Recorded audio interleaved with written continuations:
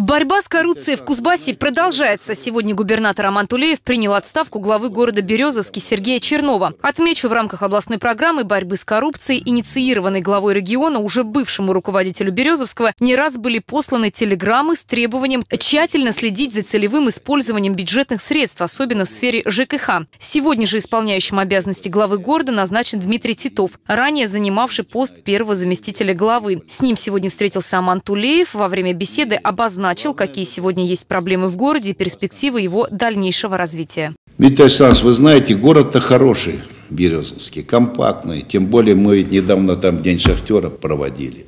Но его запустили, ты понимаешь, его запустили. Поэтому с чего тебе нужно начать? Первое. Благоустройство. Начни со снега, с грязи, с мусора, убери. А весной начинаются деревья, цветы, полисадники и так далее.